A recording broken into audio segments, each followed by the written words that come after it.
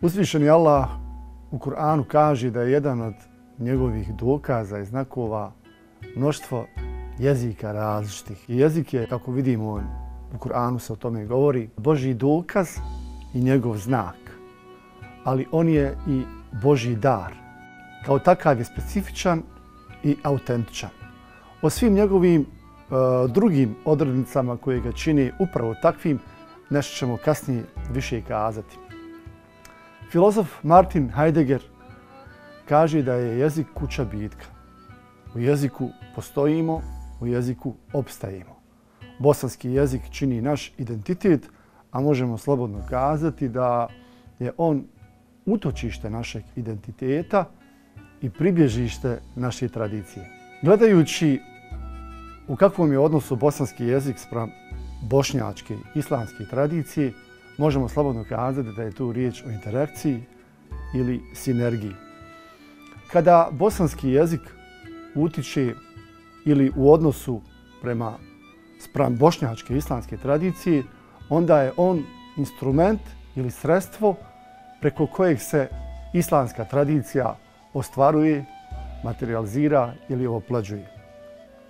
S druge strane, bošnjačka islamska tradicija bosanski jezik je učinila bogatim sa mnoštvom sa mnoštvom sadržaja. Zapravo dala mu je bogatstvo sadržaja i na taj način ga je učinila specifičnim i autentičnim. Pa kažemo da postoji mnoštvo izraza, pojmova, termina koje bošnjaci ili bosanski muslimani u svom govoru koriste, a zapravo su porijekla i dolazi iz islamske tradicije. Nikada bosanski muslimani, odnosno bošnjaci, za obaveznu dnevnu molitvu ili će skroz rijetko kazati da ide da obavi molitvu, uvijek je to namaz salat. Za udjeljivanje zekata, davanje zapravo sedaka, zekata i udjeljivanje sadake nikada neće kazati da je to vjerski porez obavezni, nego je to zekat. Ili mi su sadake milostinja, uvijek je sadaka. Za džennet i džehennem neće kazati raj ili pakao, nego je to uvijek u pravilu džennet i džehennem. Za nešto što, što je Bog dao, uvijek kažu mašala. Naravno i drugi narodi tu tako koriste izraz mašala. Vidimo da islamska tradicija ima utjecaj na druge jezike.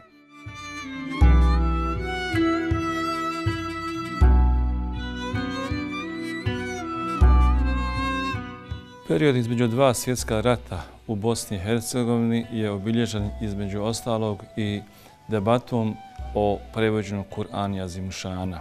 Naime, u tom periodu imali smo dva različita stava. Sa jedne strane su bili tradicionalisti koji je bilo uličenje u predvođenju, u predvođenju braće Čokića iz Tuzle, koji su zagovarali i govorili da se prevođenje Kur'ana ne može prevodi na bosanski jezik, niti bilo neke druge jezike, iz bojazi da se vremeno ne bi potpuno istisnuo kuranski, arapski tekst, da ne bi e, vremenom muslimani počeli da koriste samo prijevod. S druge strane, bili su i modernisti koji su se zalagali za prevođenje Kur'ana koje je predvodio Šukrija Alagić sa obrazloženjem da je Kur'an osnovna izvor Islama i da bi muslimani mogli da primjenjuju Kur'an, moraju se s tim i upoznati. Eh, vremenom eh, u Bosni i Hercegovini se eh, počelo sa dijelovima Kur'ana prevoditi i prvi koji je prevod dio, odnosno nekoliko ajeta kur'anskih bio je, je Sejid Serdarević koji je u časopisu Nisbah objavio, odnosno u tekstu prevod tri kur'anska ajeta. Danas u Bosni, iako smo daleko od vremena Osmanlija, rado naši muslimani slušaju mevlud, odnosno početak mevluda na turskom jeziku, pored toga što mi imamo dosta spjevova na bosanskom jeziku, ali ipak vrlo rado počinju mevlud sa učenjem na turskom jeziku. Ova lijepa tradicija koja je ostala iza Osmanlija će, ako boda, i dalje ostati, a ne ugrožavajući vrijednosti naših mevludskih spjevova napisan na bosanskom jeziku. I danas kod naše oleme i imama E, ima debata da li se pojedini dijelovi e, dova ili same dove koje učimo mimo namaza ili nekim posljednim e, povodima mogu učiti na bosanskom jeziku ili da zadržimo samo arapski tekst. To je osva dilema, tako da nas imamo naše imama koji dio dove uče na bosanskom jeziku, a dio na arapskom ili potpuno uče na jednom ili drugom jeziku. Kad slušamo govor naših prethodnika, primijet ćemo da postoji mnogi arhaizmi koji su danas izumrli. A, Samo oni pojmovi koji dolazi iz islamske tradicije ostali su živi i bit će živi dok traje bosanski jezik. Zašto? Zato što je upravo u te termine, nazive i pojmove, kao i bosanski jezik, udahnut život vjeri.